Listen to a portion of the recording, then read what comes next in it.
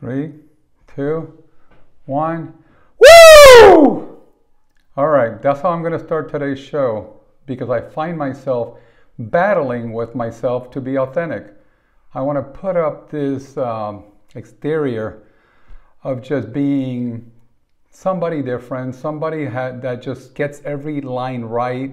I'm looking at a cursor down here or at a teleprompter and thinking that I probably need to read everything just so so I don't sound foolish in my delivery. That goes back to episode episode one, which was um, just do it, analysis paralysis, trying to be perfect when everything gets out, and I find myself not talking to you. I find myself talking through you, and I have to work on that. I have to work on that and the ability to just be vulnerable enough to get my message out there in a way that it connects with you rather than me just always wanting to be this perfect delivered uh, uh, message of perfect delivery. Um, it's not going to be perfect. It's going to be lumpy and chunky and it's going to have all these round edges, but hopefully, what comes through is the heart of the message and the spirit of the message, and that it's really there just to help you because the more I hear myself talk to you about what I'm going through, the more there's a chance that what I'm doing might impact you in a way that might honestly help someone. And that is something that I'm working really, really hard towards. So, a lot of work goes into these episodes, more than I ever imagined and I am the type of person that I am willing to put in the work. I'll just keep working, and uh, and I make it part of the journey. And it's kind of like hiking. I always talk about hiking and how I run similar uh, paradigms on hiking and life, and you just don't know what's around the bend. So the more you get yourself out there, and why in one way, shape, or form, the more uh, wonderful experiences that you'll be opening yourself to. But at the same time, there'll be uh, hurt, there'll be failure, there'll be falling down, and they'll probably more than likely, if you're lucky, they'll be getting up. And um, I just thought I'd start out with a big old scream so you see that I feel the same pain a lot of people do when they're paralyzed by fear or the fear of looking good or sounding great or just not looking foolish and seeming smart. I'm just as smart as you are. You're probably smarter than I am. It's all okay. We are who we are and we do the best we can with what we have within the journey that we've traveled. My journey is not unique. To me, it's different. Um, to you, yours is different, but it is unique to ourselves. And that's the only thing we draw from is that journey that we've been on. And the only lens that we see through is our own. So, it's just part of the process. So now, this is episode three of the Jerry Pujols Project 2.0.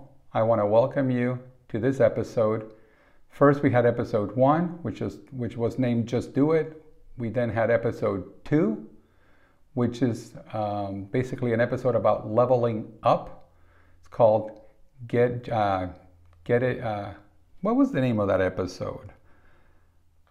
Let me go look for it because I am going to look at my notes because I can't even remember the name of the last episode that I just did. That episode is called Getting Ahead. But what I like about one, two, and now three, um, these are going to play really well together. One leads to the other, they all kind of go hand in hand. Just doing it, getting over analysis paralysis is something that I've had to struggle with, possibly because of this idea of perfection and trying to get everything out there just right. But as I've said before, I have a friend that reminded me that that just getting it done is better than perfect. Or what, what was her no, what was her quote? Her quote was better done is better than perfect. I remembered. Done is better than perfect. And I'm going to keep that motto going throughout the rest of my life because sometimes you get so wound up by just making sure everything is just so beautifully delivered, so beautifully edited, that then people will think that you're just that much smarter because you actually don't make a single mistake as you speak and deliver this information that should be touching everyone's heart. Oh, what a mouthful. So, done is better than perfect. That was um, the, uh, the uh, premise of uh, just doing it, getting ahead and continuously growing, basically leveling up was episode two. And now on episode three, we're going to talk about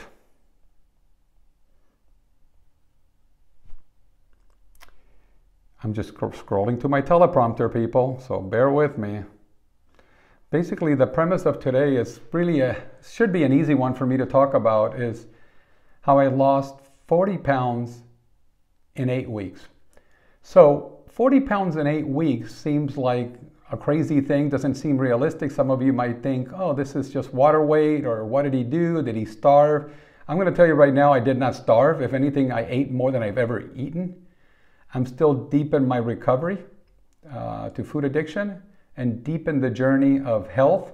And I am really, really enjoying that. So, if anything I say um, impacts you, um, then I've done my job. That, that's really it. If it just kind of gets you motivated to think about your health, nutrition, and things like that, I think I think that um, my mission will be done if it at least touches somebody out there. So that's why I'm putting this time into this and, and enjoying the, the chunkiness of the process. Um, I want to talk about um, a little bit of housekeeping. One thing that would help and would encourage me in continuing to make these videos is if you subscribe or hit us, give us a nice little like. Uh, there's also a little bell in there, and if you hit that, it'll tell you when the next one comes out. My goal is to do one of these uh, per week. I'm trying to be a good steward and do them, launch them every Sunday.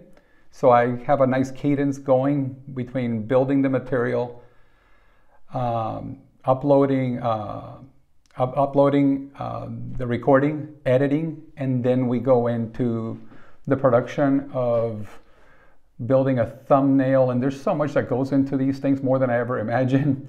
But my goal and my promise to use that by Sunday, there'll always be a new one. So here's me sticking my neck way out there and saying that because as I say that to you, I say that to myself, and I hate disappointing myself. That's the one person I really hate disappointing. And then, second, I hate disappointing you because there's a fear to that as well.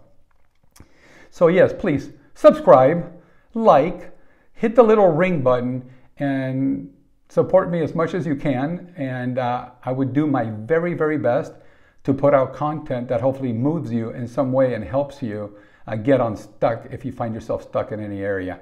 I always would welcome for you to give me any um, suggestions that you can, any questions that you want to ask me.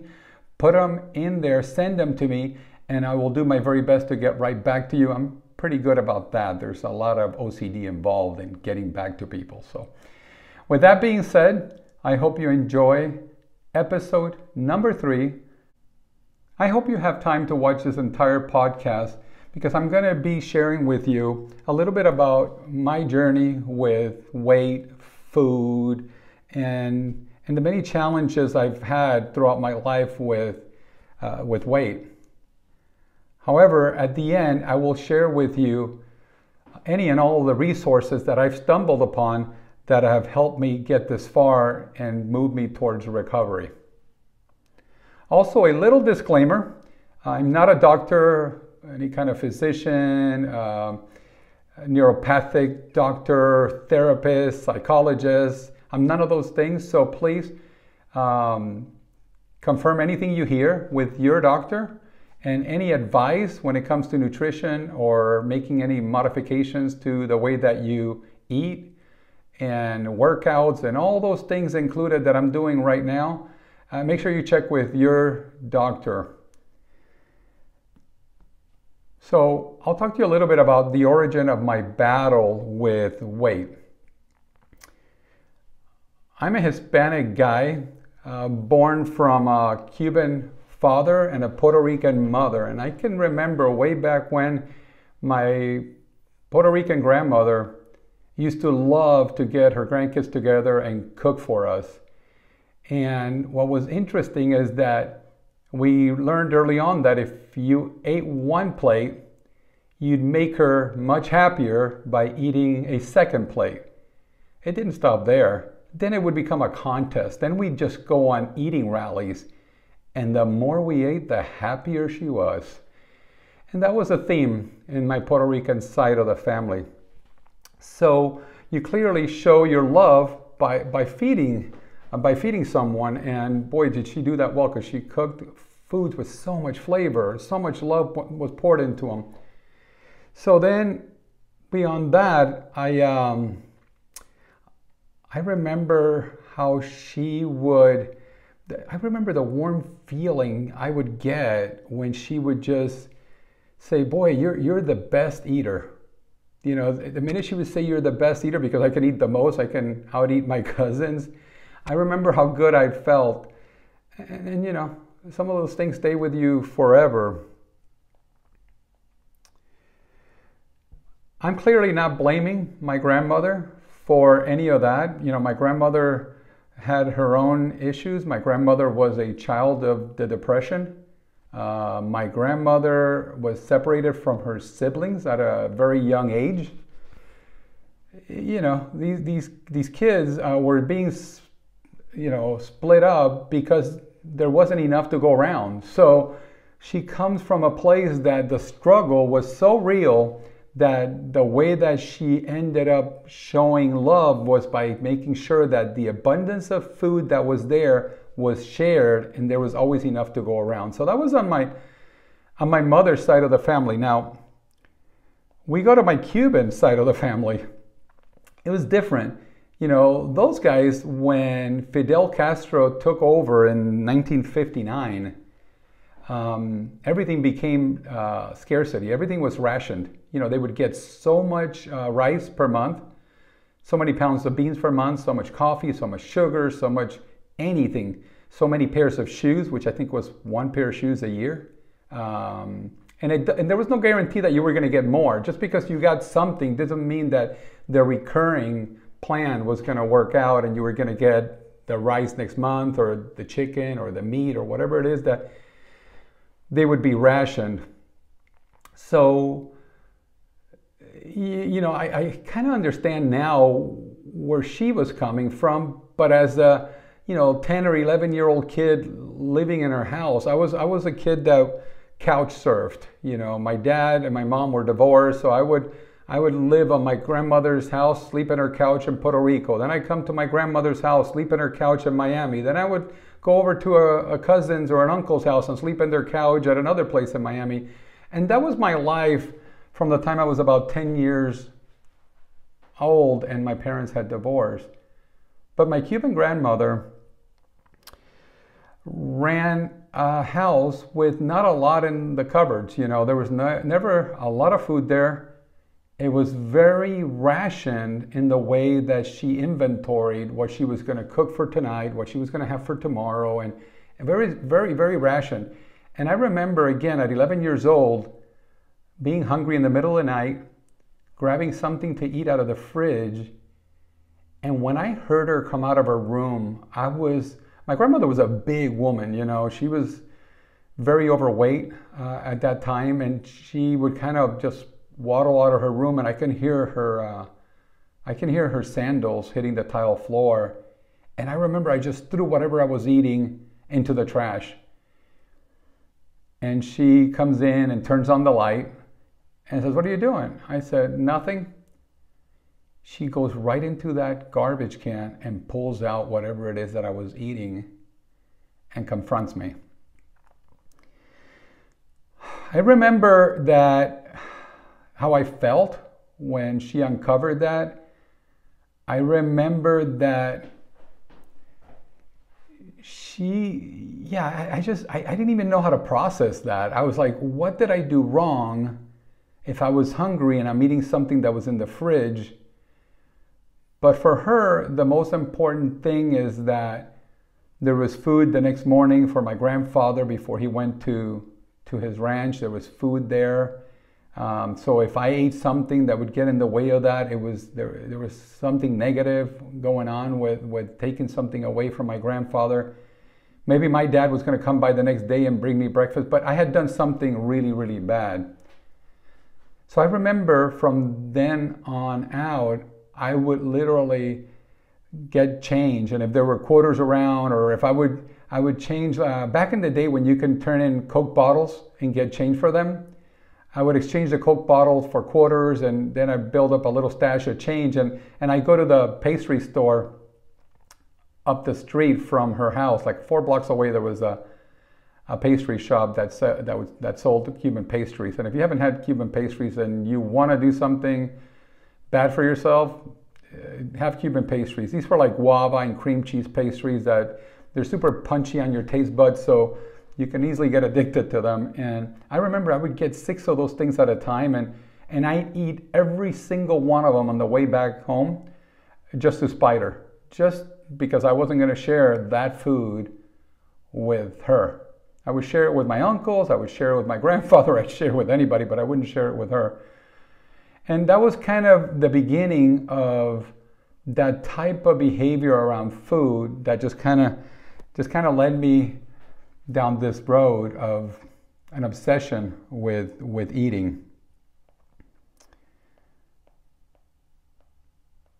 So, you know, I'm just thinking and processing you know why why is it that i am the way that i am and why has it been so many years of such a battle with with my relationship with with food so through all that couch surfing um, and the instability in the environment uh, i was growing up in I never knew where I was going to be sometimes the next day, and I certainly didn't have a clue where my next meal was coming from. So that kind of starts to add to that story. So fast forward a few years, I'm now in middle school. And at this point, I was taking a serious interest in, in girls. Don't get me wrong, I think I had an interest in, in girls from the time I was four or five years old, but that's not that's not anything to brag about. But by the time I was in middle school, I really started to take an interest in girls. And and I also noticed that that interest wasn't reciprocal. You know, I'm not getting that that that attention back. And, and you know how, how how it happened for me. I also confirmed that because I, I remember asking a girl. Her name was Lily. I remember asking Lily if she would be my girlfriend. We were always flirting and this and that, and it felt like the right thing to do. Socially, it felt like, okay, I can ask her to be my girlfriend. And, and, and Lily said to me, you know, Jerry, I cannot be your girlfriend. And I said, why? She says, you're just too chubby. And I thought, wow. She says, you know, if you just lost some weight, you have a real pretty face. If you lost some weight, um, I'd be your girlfriend because then I wouldn't be embarrassed at what other people thought of me having a chubby boyfriend. And she was flat out blunt. And ironically, we stayed friends and uh, she was the coolest person ever. But she was going to let me have it the way that she saw it, and uh, and that did do something. And and from there on, I, I remember. Uh, I started doing what a lot of kids my age were doing at the time, you know, lifting weights, uh, running. I started to do all these things, but I couldn't outrun food. You know, I could lose weight, but I can feel the weight is always just on my heels because no matter how, how much I lifted, how hard I worked out, how much cardio I did, I remember how, you know, it would make a little bit of impact, but never enough. And, and then from there, I thought, well, let me let me get into some books and let me see. I, I know I have to do something. It has to be what I eat. It's not the workout. So I ran into the Scarsdale diet uh, that book, if, if you're my age, you know, you probably remember is one of the fad diets of that time back in the late 70s, early 80s. We're probably going into the early 80s here. So I was around 17. and I read that book and I started to follow some of that protocol. I can I can tell you I don't even remember what the diet was about, but whatever I was doing was working because I went from 200 and something pounds. I think I went to like the 180s and my waist went down to about 31, 32 and and then I was getting you know the attention of girls and um, and that led me to believe that I was on the right track. But no matter how how much I did, I have to tell you that I always felt like the fat kid was still inside. I still felt like I'm running away from something that's just snowballing, that's literally on my back about to take me down. And, you know, at, at 17 years old, I moved to New York City. I actually uh, did some commercial modeling. I was getting a lot more attention to do uh, you know, magazine covers. I did a couple of them, and I did a couple of uh, photo shoots for for actual modeling agencies that wanted to promote um, their agencies. And I was the face of one of them at one time in New York City. And there was a time where, man, I thought I escaped this nightmare because my face was on almost every single bus stop in New York City in probably 1986. And with that being said, um, I still felt like the only way I can stay that way was by starving, literally by not eating anything. And, and I remember in New York City, there was times that I would eat, you know, a pack of M&Ms in a day because I thought the M&Ms uh, were enough protein to sustain me because we start to believe that protein is the end all be all. I'm here to tell you that for those of you who believe protein is the end all be all, talk to your talk to your doctor and ask them the last time your doctor ever ran into a protein protein deficient individual, if that's ever even happened. I'm here to tell you right now that if we're deficient of one thing and one thing only, it's fiber. Over 97% of us are fiber deficient. Only 3% of us are getting enough fiber per day. And here we're asking, are we getting enough protein? We better eat a lot of meat and chicken and fish to get our protein, and we're all being misled. But I'll get more into that a little later. So, you know, by this point, as I mentioned, I went to New York City. I had left my dad's house for the last time. I was 15 years old when I left my dad's house for the last for the last time because I tried leaving a few times before, and for some reason, I've always looked up to my dad. Not that he was an example that I should have looked up to, but I was very confused and I thought he was the the person that I wanted to be like. And that's not the case. But with that being said, I made it my mission to leave that house for the last time um, and started working. He, you know, he taught me how to run heavy equipment from the time I was 12, 13 years old. So by the time I left my house at 15 years old, dropped out of the 10th grade of school, started running a bulldozer and making enough money to pay my own way. And, and that's been my life ever since. I've, I've paid my own way and I've built myself. And, and now I'm fortunate enough that, that I get to live a, a pretty amazing existence because of the trudgery and embracing doing hard things. So this is a hard thing that I'm in the middle of right now again and again. I want you to just kind of take in the information and see where it applies to you because I really hope it helps you if you're stuck in any way or dealing with weight. I hope this inspires you in some way to help you, you know, with, with this thing, especially if you have this fat person inside that just really has a hard time leaving you.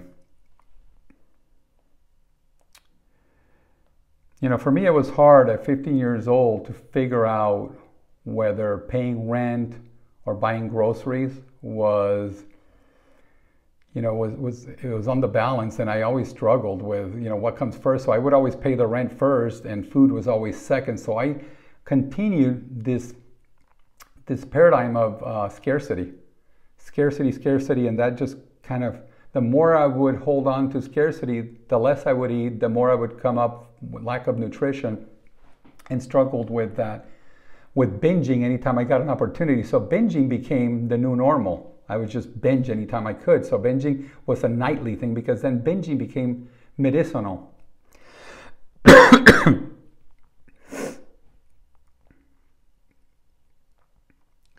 so although at 17 years uh, of age I had lost most of the weight, I can still tell that it's on my heels and, and and at any moment I knew I'd slip on a banana peel. And and that did happen. It started to really happen right before I met Susan. I met Susan when I was 19 or 20 years old in Napa, California.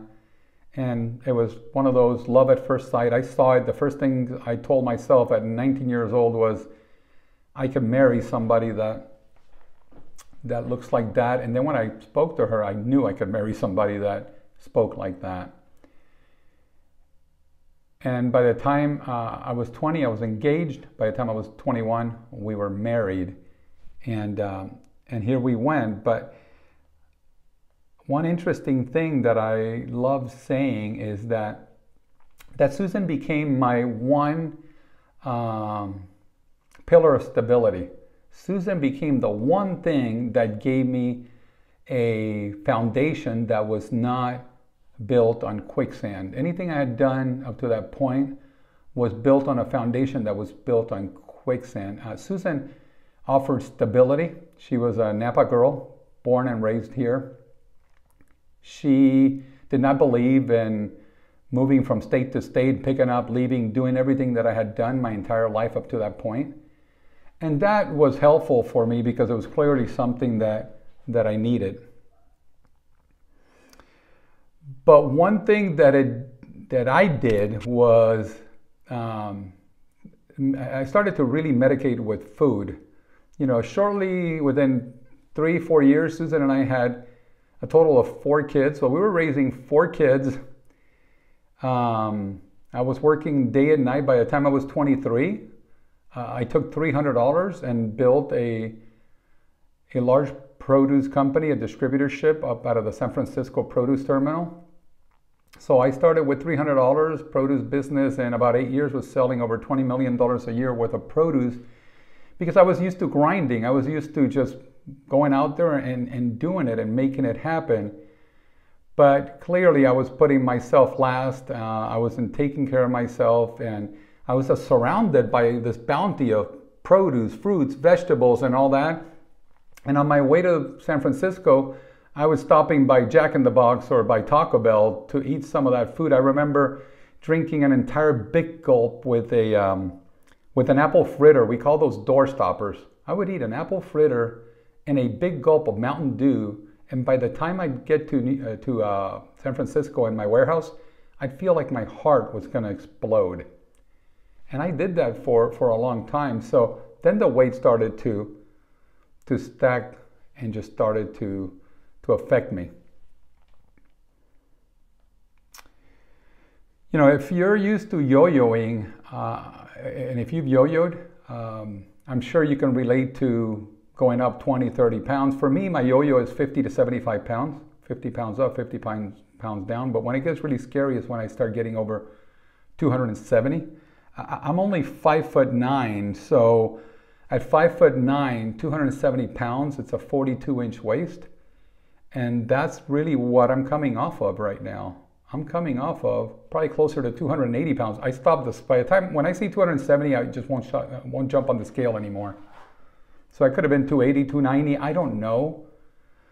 But it's something that, you know, it really affected me. I want to tell you a little bit about some of the diets that I've tried because maybe some of you can relate to this. I, I told you earlier that I started with the um, with the Scarsdale diet, but I have a list here of the ones that I've tried. I've tried Atkins, Weight Watchers, South Beach, remember that one? Jenny Craig, keto. I've done the Meatitarian diet, all meat. Raw food, vegan. I've gained weight on raw food vegan diet, if you can believe that. The Mediterranean diet, body for life, remember that one? That one I got down to 10% body fat and I still have pictures to prove it. I got very lean. Susan actually did the, the plan with me. She doesn't have, she does not ever need to lose weight, but she got leaner. She actually modeled for for Harbinger, these boxing gloves that that um, that are used for working out and hitting the bags. So we did that for a while. Um, let's see, I did the zone diet. Remember the zone? Eat for your blood type. I've, did, I've done that. Paleo, Nutrisystem, grapefruit diet, cabbage soup diet. I've done juice fasting. I've even gone to Overeaters Anonymous. Because I clearly, at some point, it really hit me that it was an addiction. So now here are some of the things that I've tried instead of dieting. I've done hypnosis, acupuncture, I've done therapy, cardio, hiking, cycling, and anything else that's physical under the sun. Excuse me. I'm sure there are a ton more I can't remember.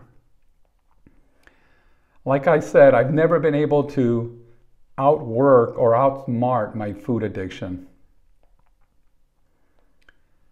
I've also always bragged about the fact that nor drugs, recreational drugs, prescription drugs, or alcohol have ever had a hold on me. I brag about that as if I'm winning, but I'm not admitting that I am a food addict. But then some years ago, I came to the realization that food, for some reason, calmed my nerves. Especially at the end of the day, you know, you have four kids at home, they're screaming, Susan's stressed out, she's been working all day at, in the house, making sure that, you know, four school, schools are delivered in the morning, four schools are picked up in the afternoon, and and then we split in different directions. I would go take them to baseball, she'd take her to ballet. I mean, it was just like that for years and years and years. So I continued to self medicate with food. A, a, full stomach in the evening for me, it's really always been the only way that I've been able to um, decompress. You know how people grab a glass of wine, and sometimes with one glass of wine, they're able to just kind of chill. That was it for food. But for me, it's not just a little bit of food, it's binging. If I binged, then if I felt like my blood pressure was dropping and I felt calmer. Talk about getting it all wrong. And you know, the one thing that I never realized is that the more I ate later in the evening, the less sleep I was getting in the middle of the night. I'd get up at 11 o'clock at night, sometimes 12, sometimes 1 o'clock in the morning. And I would think that that was good because it gave me the space to work quietly. But what, what it was robbing me of was sleep. And I'll tell you later how it's all come full circle for me because I sleep eight or nine hours a day now without fail, and I get the best sleep I've ever had. I mean, I'm telling you, the best sleep I've ever had. And I'm going to give you the conclusion as to how all this happens.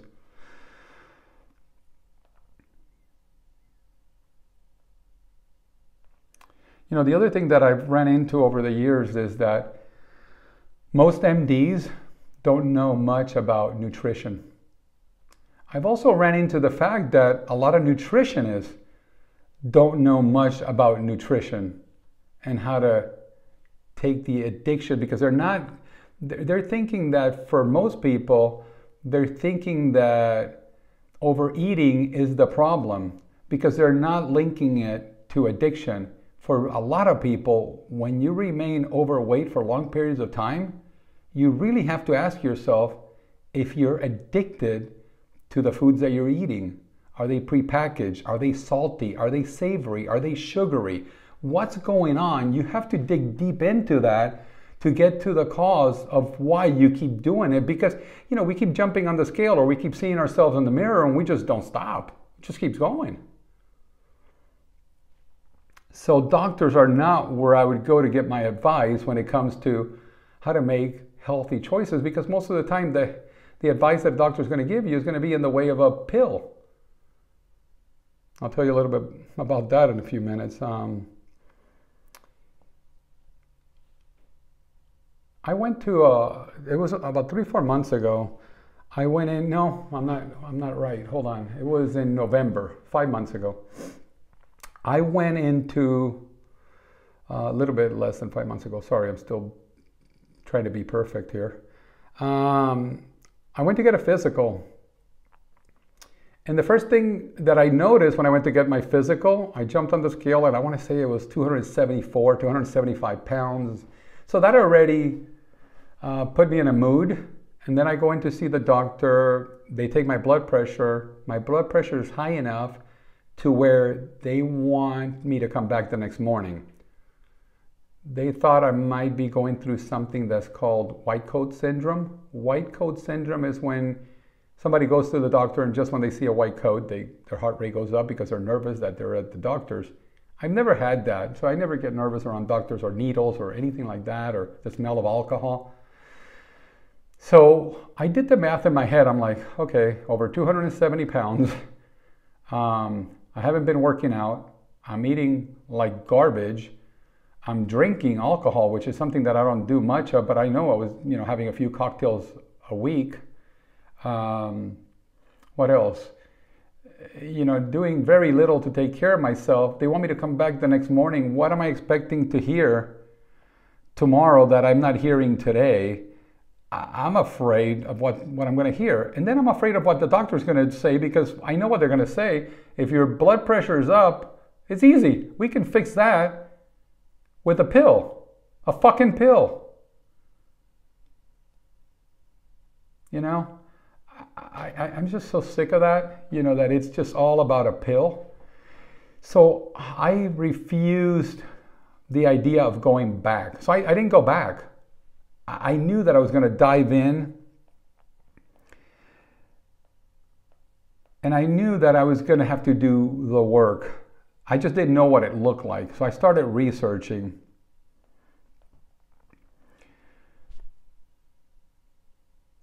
As I went down that wormhole, I researched um, and ran into uh, Penn Jillette. I don't know if you know who that is. Penn is part of Penn and Teller. They have a show in the Rio Hotel in Las Vegas. And Penn did something called the potato diet. Potato diet. I thought, okay, let me listen to this crazy thing. I listened to I listened to this potato diet thing, and Penn just swears by it. He's like, man, it saved my life. He says, I've lost over 100 pounds. I, I feel amazing. I mean, he was literally knocking on death's door. Everything pointed in that direction, but he went all in. He did this potato diet. And I thought, well, I can do that. I can do a potato diet. I've done a juice fast before. It's helped me reset, lost a lot of weight. Um, you know, I, I, knew I knew I felt good eating uh, vegetables, fruits and vegetables, and, and just drinking them. That, that felt good. It just the one thing that I realized that with the juice fasting, it was it wasn't sustainable. I by day eight, I snapped and I just went back to eating foods. But then I, what it did is it reset my palate, and then the food that I was eating uh, tasted better, and then I found myself eating healthier food. So for a couple of years, I stayed pretty lean. I stayed in the in the high 100s, you know, not the 270s. I was probably 190, 195, and that just felt way better. So I recalled that and I thought, well, if I would consider doing something as extreme as a potato diet, because I know a potato, only eating potatoes for weeks, like he did, uh, to where he lost 100 pounds doing it, I think that would have such a negative effect on my relationship with food that I thought that's probably just not for me. And maybe because I wasn't on death's door like he was, it wasn't as drastic for me to make that type of extreme decision. So I just thought, well, why don't I eat just, uh, why don't I just eat healthy? Why don't I just eat healthy? Why don't I just cut out the meat?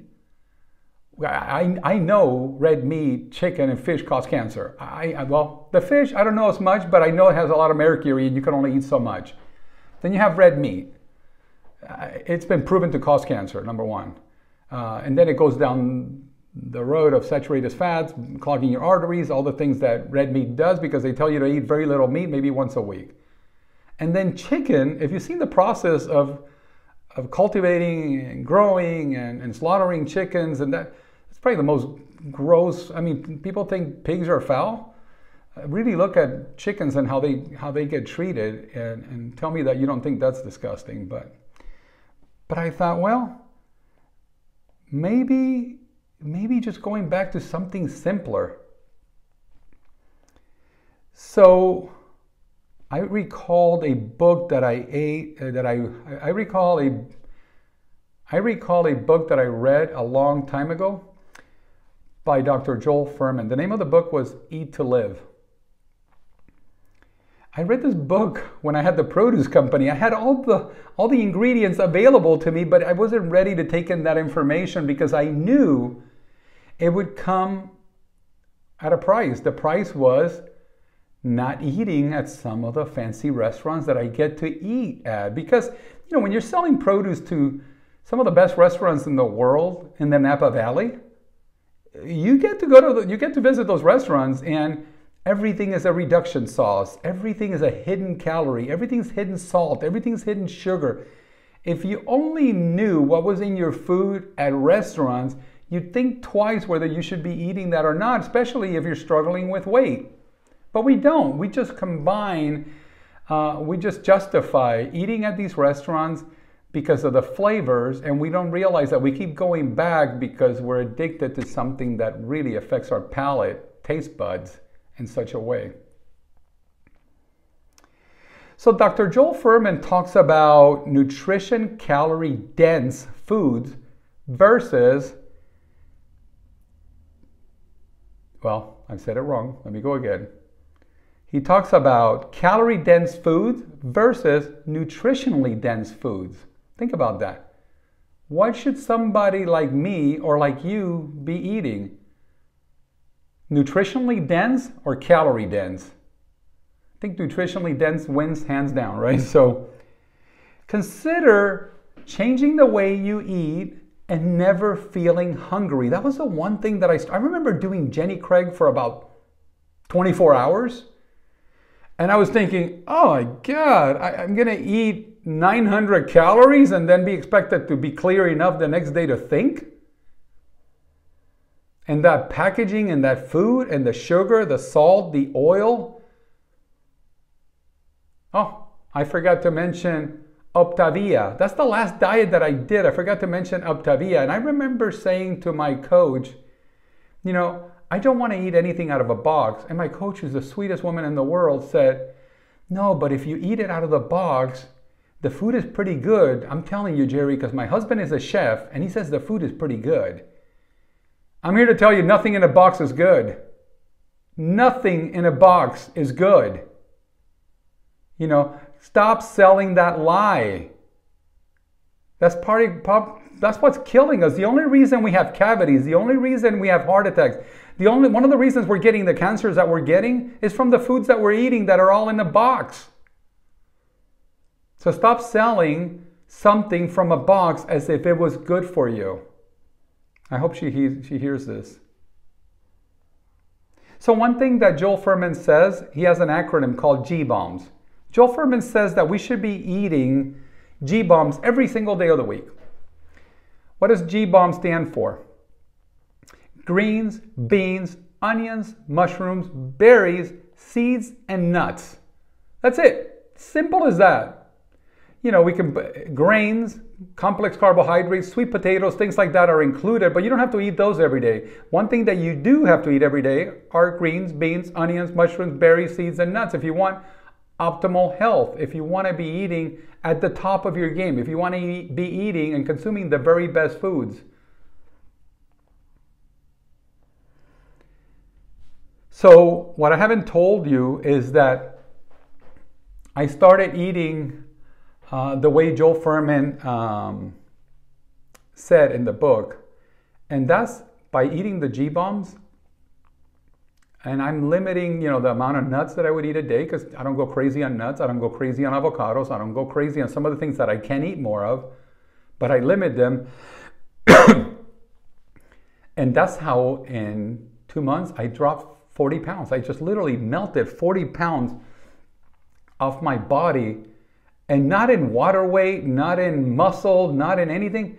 Literally 40 pounds of fat have disappeared from my body.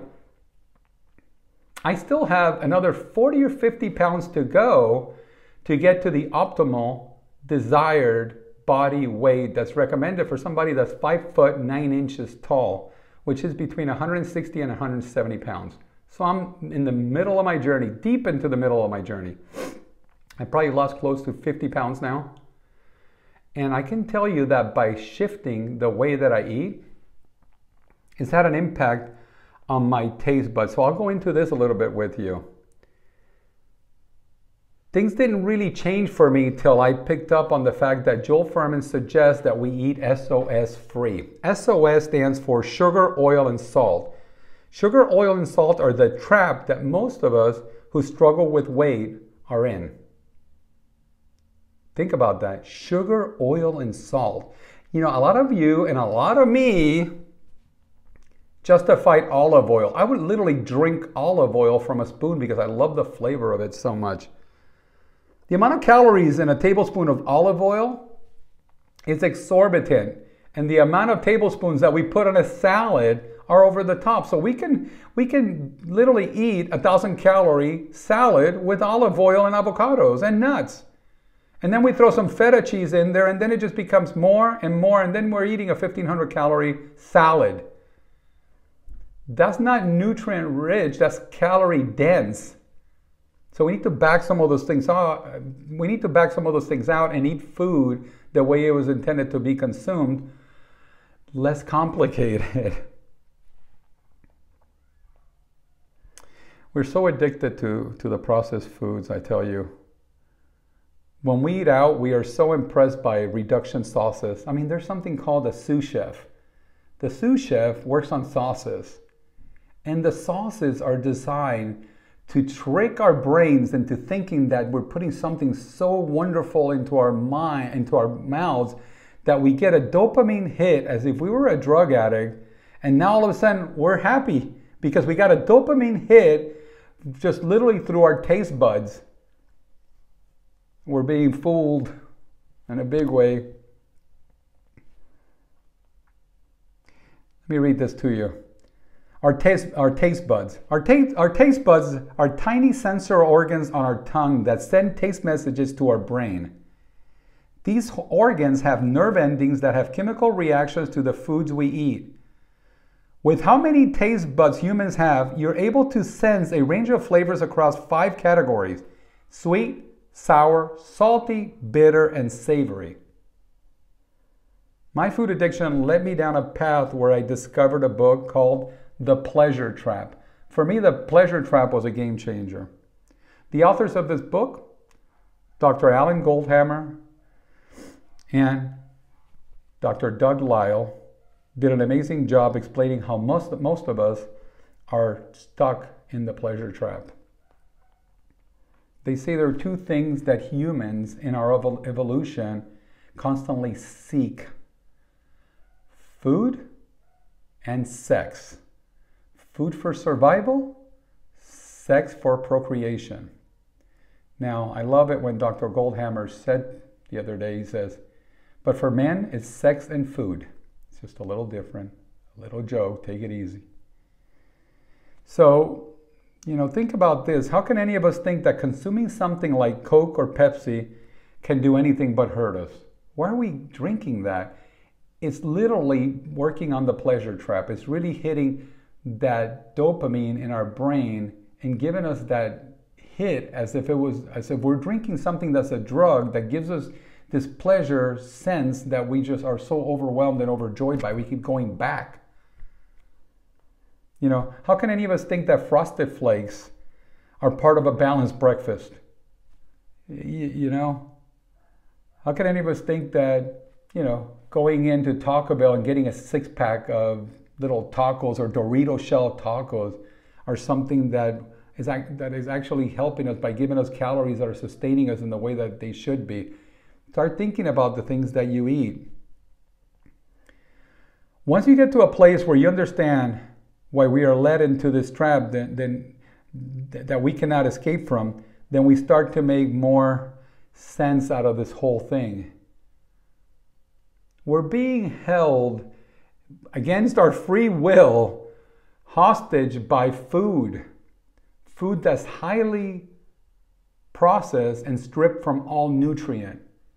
And we keep going back for more. But For you to understand this, you have to do your own research. You have to take some of the names that I'm dropping in, in my message as things that you start writing down, and then you go in and you start listening to some of these talks. You start doing some of the research. You start reading some of the med- medical uh, findings that are out there because they're public for you to see. This is why I'm so happy to report that as we speak, I continue to melt fat in a way where I'm not missing those things because, you know, I'm going to explain in a couple of minutes how long it takes to get this out of your system. You know, it's going to take some discipline. It's going to take some discipline, but I promise you, it's going to leave your system. Your taste buds are not going to require those shitty foods anymore. I still have, a, like I said, another 40 or 50 pounds left to lose. And, and I know this way, I'm, my, I'm on my way towards a sustainable way of living. You know, at this point, I'm working out with weights three days a week. I do four saunas a week because saunas have been proven to really help fight against heart disease. And I get some cardio in every single day. I walk my dogs twice a day, once in the morning in the freezing cold, once in the evening in the freezing cold. And the reason I'm doing that is because it calms them down, but guess what? It calms me down as well.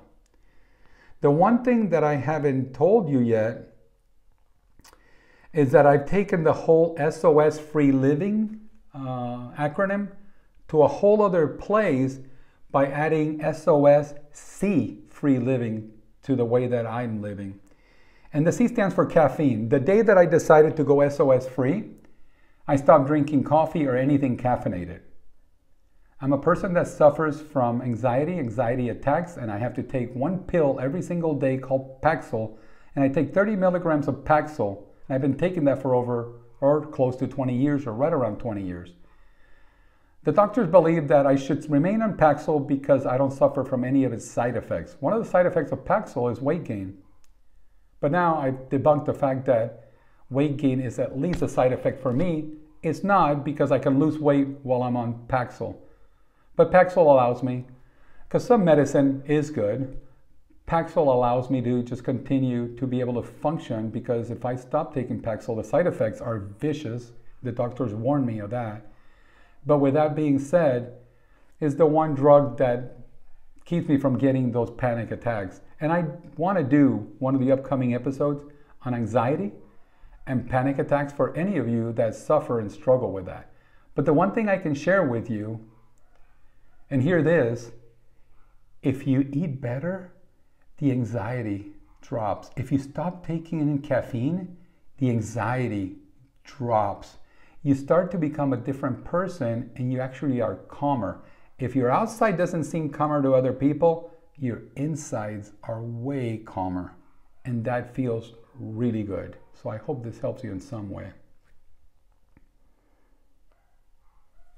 You know, something that's challenging, and I just discovered it, is eating this way when you travel. I just went to a real estate, I'm in real estate uh, in the Napa Valley, and I went into a real estate conference in LA or Long Beach uh, a few weeks ago. And I thought it was going to be impossible to go to a conference and eat SOS free, non processed, all whole plant based eating. And by the way, whole foods, plant based eating doesn't mean impossible burgers. Uh, that's garbage too, just so you know. That's a highly processed food. It's not good for you. Some of us might think it is because it, they bleed like a burger, they bleed beet juice. It's not only beet juice, there's a lot more than beet juice in that blood that comes out of a processed uh, plant based food. And things that are called plant based, be careful, read the ingredients because there's a ton of garbage in them. But one thing that I did do, I thought, well, I'm just going to treat this like a hiking trail. I'm going to take a big suitcase, I'm putting a blender in it, and I'm taking the produce with me. And I sort of put my journey out on Facebook and people started giving me grief because they're like, well, there's probably a Whole Foods close to your hotel, Jerry. You don't need to pack lettuce. I packed the lettuce. I wasn't going to take a chance. But they were right. I will give this to them. It would have been much easier to go to Whole Foods, just have the blender in the room and make my smoothies and then make myself a salad and go that way. But shortly after that trip, I met up with my friends in Las Vegas, which is a very challenging place to diet because everything is a buffet and everything is just rich and decadent. And I'm happy to report that on this trip, I took my much smaller blender.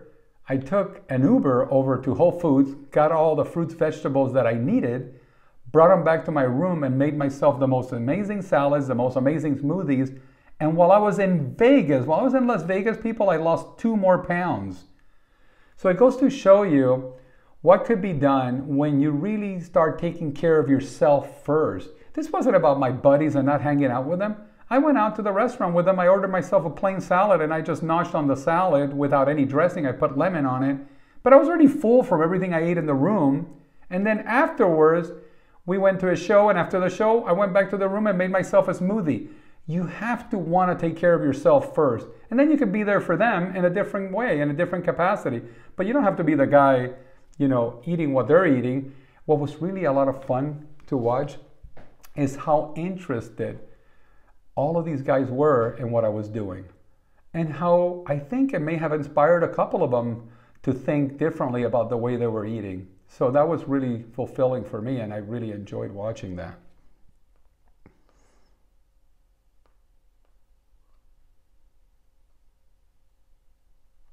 You know, one thing that I'm really coming to terms with is that diet is a super complex topic but food and nutrition should be simple. I, I think not only do we complicate it, but I think they complicate it for us because everything that's being fed, everything that's coming our way.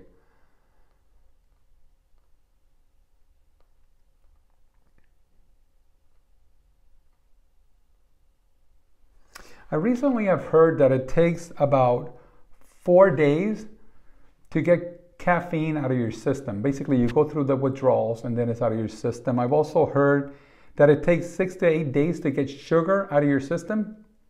And for me, I think it's totally accurate because day six and day seven, um, from ending the SOSC, sugar, oil, salt, caffeine, on day five, six, and seven, my head was just literally on a swivel. It was in so much pain. So I'm kind of giving you an idea of what to expect if you think you might want to go this way.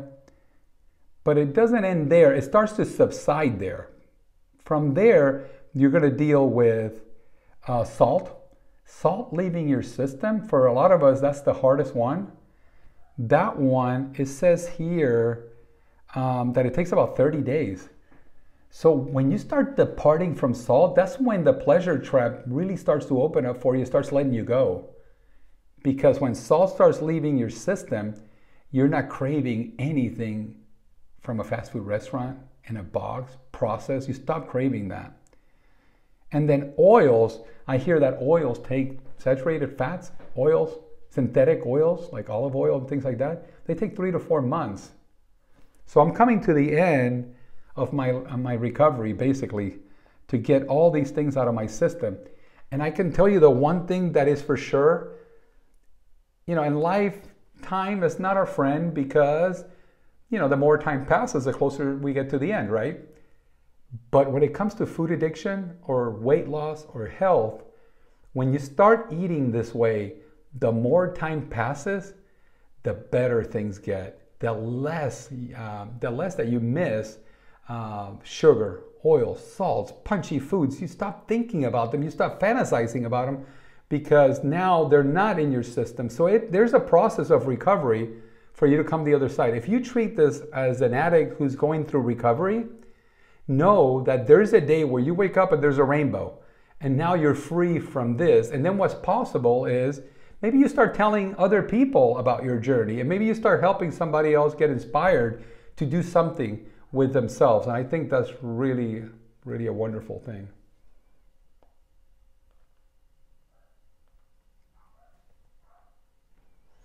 At this point, I have zero cravings for sugar, oil, salt, and caffeine.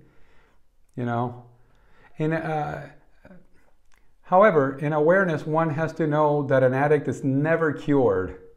Staying within the parameters is going to be the key for me. Recognizing that I know there are slippery slopes. So, for example, for me to get into rice and beans, That's such a cultural thing for me that I know that I probably, if I'm gonna eat rice, I'm gonna probably measure it and put it with a salad.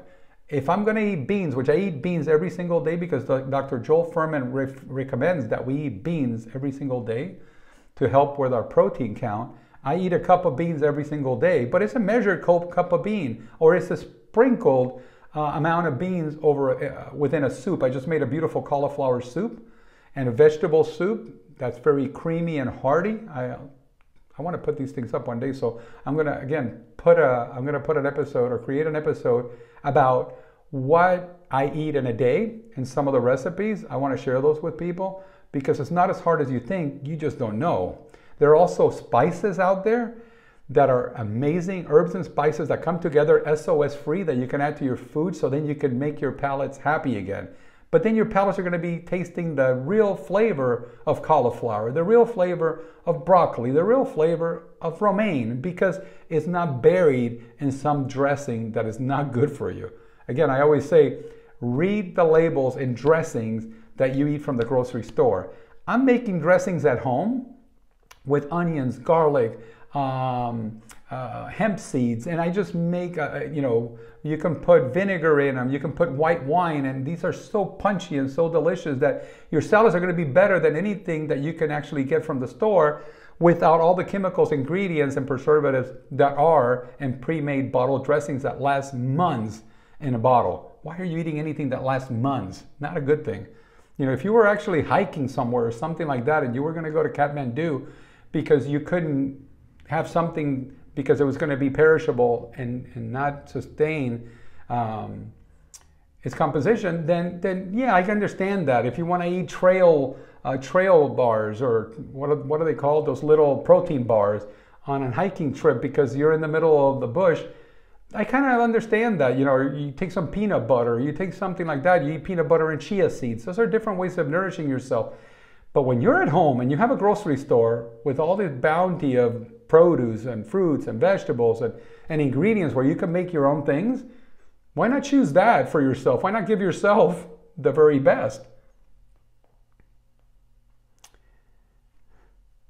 You know, I, I recently spoke to Dr. Goldhamer, who is uh, one of the authors of The Pleasure Trap and uh, one of the authors of the um, uh, of the author, one of the founders of True North Health Center. I think he is the founder of True North Health Center, which just happens to be in Santa Rosa, California.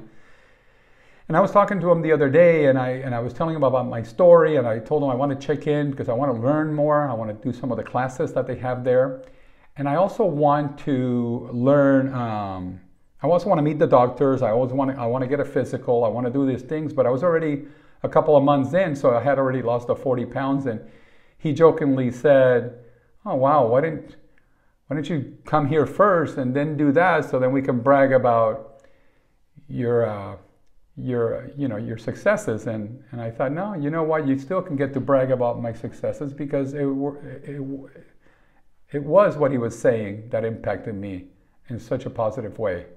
Dr. Goldhamer has been eating this way since he was, I think, 16 years old. Um, if you look at Dr. Goldhamer, I think he's about my age, but he looks like he's about 32. I'm 56.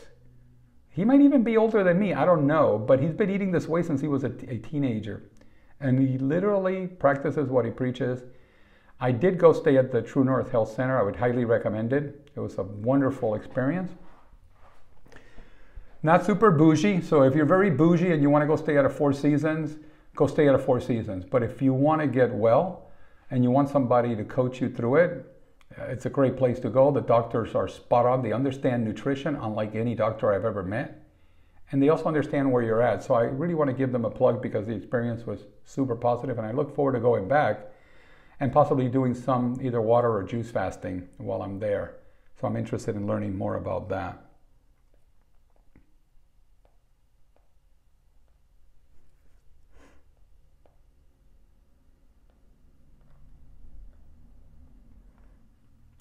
I want to give credit to some other people that I want you to research for yourself and um, who have had a big impact in this so far. Besides Dr. Goldhamer, I want to give credit to uh, Dr. Lisle, the co author of The Pleasure Trap.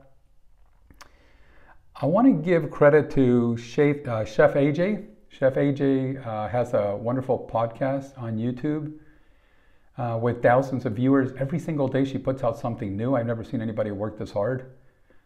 But she's literally constantly interviewing somebody in the space because she's also been a food addict who has beat it by literally practicing what she preaches, and she's there to help you. Uh, highly recommend for you to watch Chef AJ. It's called Chef AJ Live. It's the name of her channel. Uh, Dr. Goldhamer has been a guest on, on the Rich Roll podcast with millions of views. And, and these are super credible people. I also like um, Sherry's podcast.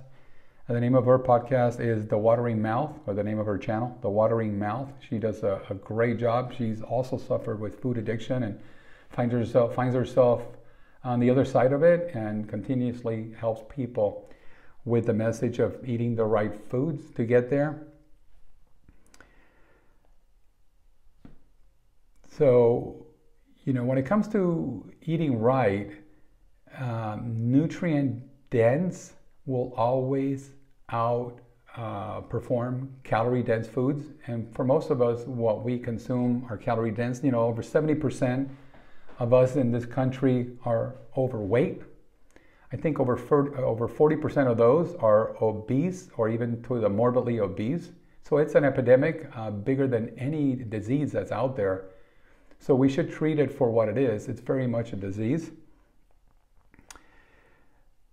And it has already been confirmed that meat and chicken have been linked to multiple types of cancers and even dementia.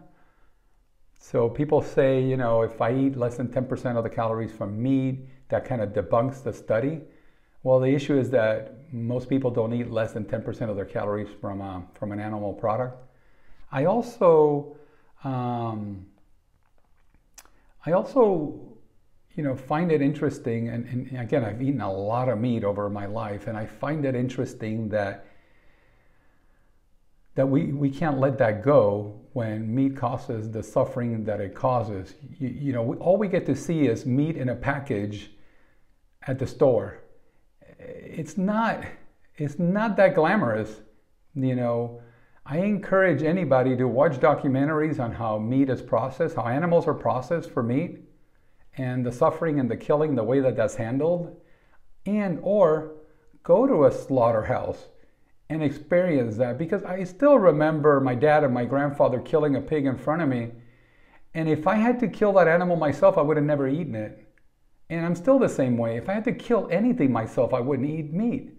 So if I don't have the courage to do that, what makes me feel like I should have again, I just won't even go into it. That's my own personal opinion. I respect and I don't want to judge anybody for for what they consume and what they were taught to consume. But again, we can make our own decisions, right? So we're all grown ups here.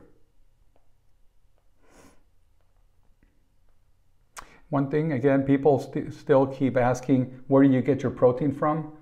I'm not protein deficient. Between the beans, the vegetables, everything that I eat has protein on it. People ask about sodium. Everything I eat has an amount of sodium that totals the right amount of sodium I need per day. I don't need that much sodium, but people keep asking about sodium when for most of you, again, I'm talking to you, you're fiber deficient. You are fiber deficient. If 97% of the people are fiber deficient, you're more than likely one of them. So consider fiber something that you're missing from your diet and stop asking about you know carbohydrates and stop asking we're getting all the carbohydrates we need we're getting all the um, all the protein we need uh, you know, if you're vegan, what they're saying is eh, take a B12 every day because you might be B12 deficient, and that's not even a guarantee because you might get enough B12.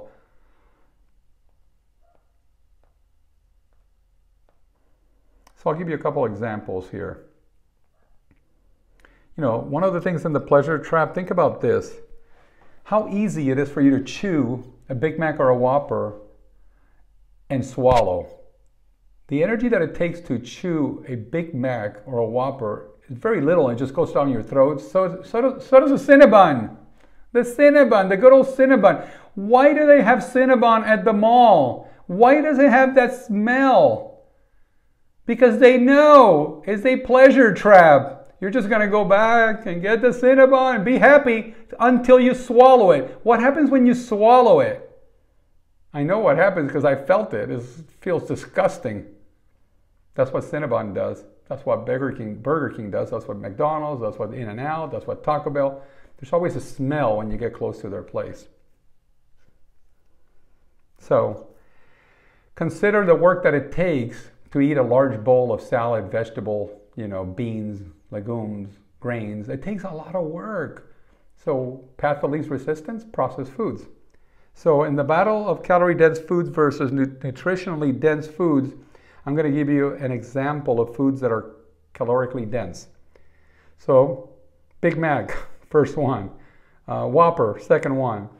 Steaks, chicken, spaghetti, meatballs, olive oil, raviolis, everything down the run. Those are calorically dense foods that we eat for dinner on a daily basis, then it takes a lot more energy to work and get satiated with these kind of foods.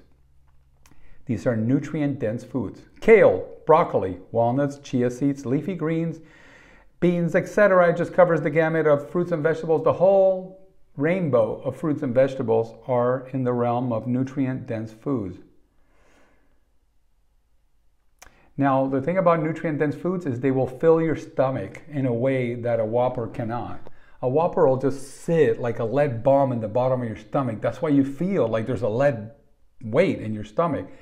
When you eat a big bowl of a beautiful lettuce with dressing, with beans, you even throw some grain, you can throw some bulgur, quinoa, anything on it, you're gonna be full, but you're not gonna be bogged down. You're gonna get your stomach to the place where your stretch receptors are going to trigger your brain to tell you you're full.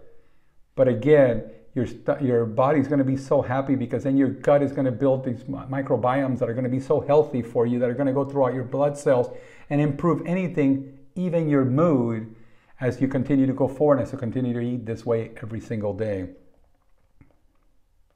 So the goal is to get your palate free from the prison of processed foods and SOS. SOSC. I think caffeine, I'm not a fan. I think, I don't think Dr. Joel Fuhrman's a big fan of caffeine, uh, but I think a lot of nutritionists don't mind caffeine. Caffeine doesn't seem to break a fast for some people and things like that. But for me, caffeine has something really uh, to do with the way that I feel uh, and the anxiety levels that I that I get from caffeine are quite extreme.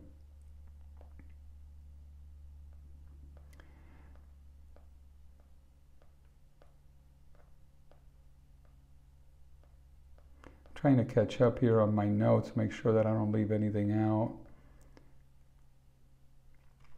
I'm there to I'm to the closing. Thank you for hanging in there with me. This went long, longer than I thought it would. Wow. In closing, I want to say that no matter where you're at in your journey, there's absolutely no judgment. I've been where you're at. I've been way worse. I can probably assure you of that. Um, so there's zero judgment coming from me.